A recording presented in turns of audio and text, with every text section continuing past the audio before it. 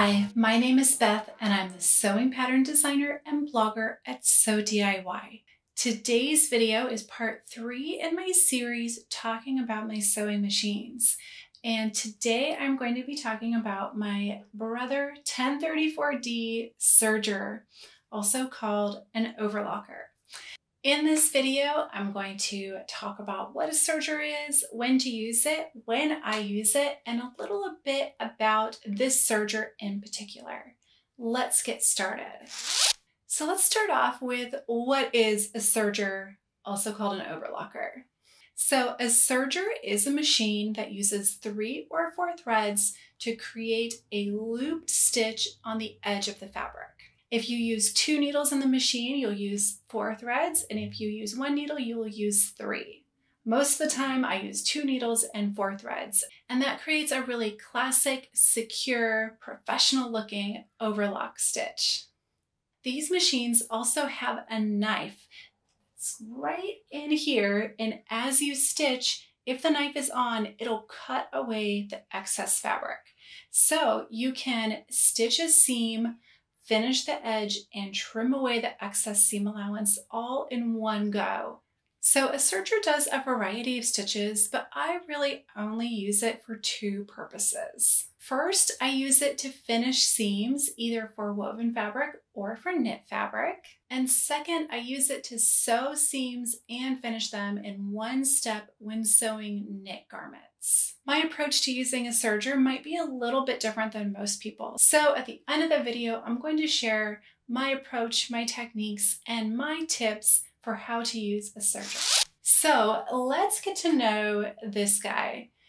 This is the Brother 1034D. It's a very popular machine. I think it's probably the one most people in the sewing community have, and that's for a few reasons. One, it's really accessible. I bought this on Amazon. It's really affordable too. I paid $229 back in 2009, and it's really dependable. I've had it since 2009, 13 years, and it still works great. I have never even had it serviced. I probably should have it serviced, but it's still working really well. So I'm just gonna keep going and keep using it. So I think that this is a really accessible machine. Um, I think it's pretty easy to thread and adjust the tension. And I actually have a couple of videos about those two topics. I will put links to those down in the show notes. Um, I should say that they are some of the first videos that I made on YouTube. So it was really back when I was still learning techniques for how to record and edit. So they're probably not the best quality, but I think the content is still probably good. So the way that I use a serger is maybe a little bit different than other people. So I think a lot of people will stitch their seams and then finish those raw edges together using the serger with the knife on and cut away any excess. I do it the opposite way and I finish my seams before stitching the seams as much as possible. And I learned this in a costume design and construction class in college. And this way you're going to prevent any fraying during construction and you're going to make it easier to make any alterations later. Plus you're going to preserve all of the seam allowance. So again, if you have to make alterations, you're going to have more to work with. There are a few times when I will finish the seams together after I've sewn them. Like when sewing a gathered waist skirt, I like to do that to reduce bulk, but for the most part, I will finish as many seams as possible on my serger before I start stitching. So if you bought any of my patterns, I recommend do doing that in my patterns. I know not everyone is a fan, but I have really um, loved this approach to finishing my seams. So I will also use my serger to stitch seams in knit garments for the seams that do not have a lot of stress on them. I have found that the lightning stitch on a regular machine is much more secure than the stitches on a serger.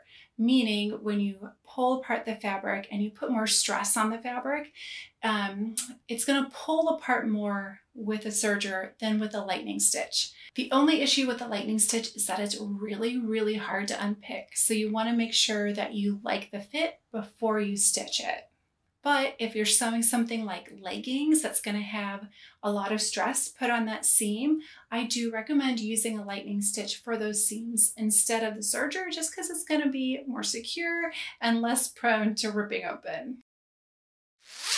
So if you do decide to add a serger to your collection of sewing machines, I have three tips for you.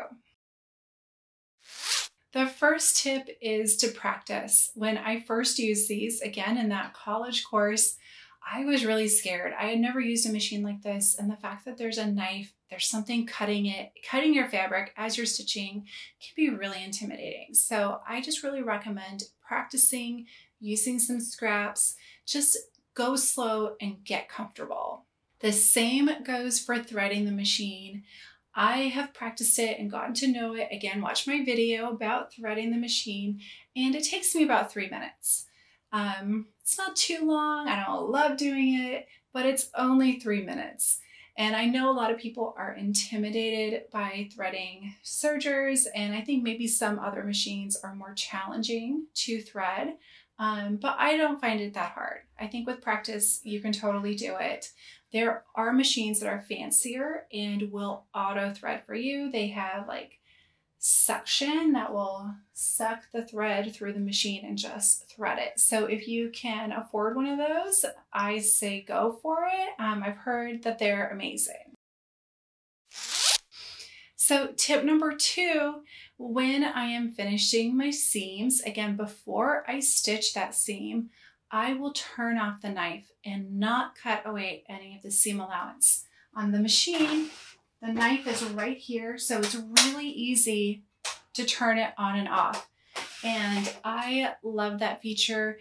I often see people on Instagram who have gone to finish their seams on the serger after sewing them together and then accidentally cut a hole in their garment and it's so sad and I prevent that risk by finishing my seams first and keeping that knife off. Um, again, if you're worried about the knife, you can just turn it off. You don't, I don't use it all the time. I only use it when I am stitching those seams on knit garments. And that leads me in to tip three, and that is when you are getting your garment ready to stitch, pin your pins horizontally to the edge of the fabric. If you have the pins going in perpendicular to the needle, you're going to risk running over them with that knife, and that would be really dangerous. Um, you don't want to do that, so put the pins in parallel to the raw edge of your fabric and away from the needles, away from the knife, and it's going to be much safer. Well, I hope that you enjoyed this video. Let me know in the comments if you have any questions.